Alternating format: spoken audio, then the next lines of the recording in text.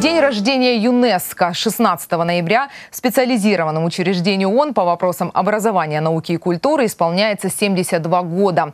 Создали организацию по окончанию Второй мировой войны.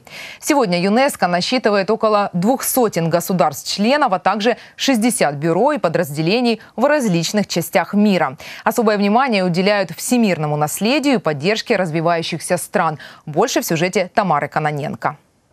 Борьба с дискриминацией в образовании и неграмотностью изучения национальных культур и подготовка кадров. Проблемы социальных наук, геологии, океанографии и биосферы, коммуникация и информация – это основные направления деятельности ЮНЕСКо. Отдельный вопрос – охрана всемирного культурного и природного наследия. В 1972 году организация приняла соответствующую конвенцию. Сегодня в списке ЮНЕСКо более тысячи объектов в 165 странах, 832 культурных, 206 природных и 35 смешанных.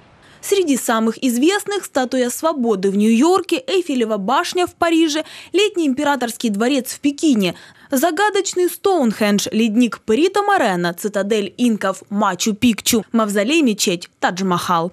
Украина присоединилась к ЮНЕСКО в 1954 году в составе СССР. Сейчас в стране семь уникальных объектов из этого списка. В их числе созданные природой девственные буковые леса Карпат и деревянные церкви этого региона. Знаменитые христианские святыни, Софийский собор и Киево-Печерская лавра, древний город Херсонес а также исторический центр Львова, место, где берет начало сам город. Еще 15 объектов на территории Украины в числе кандидатов на звание всемирного наследия ЮНЕСКо.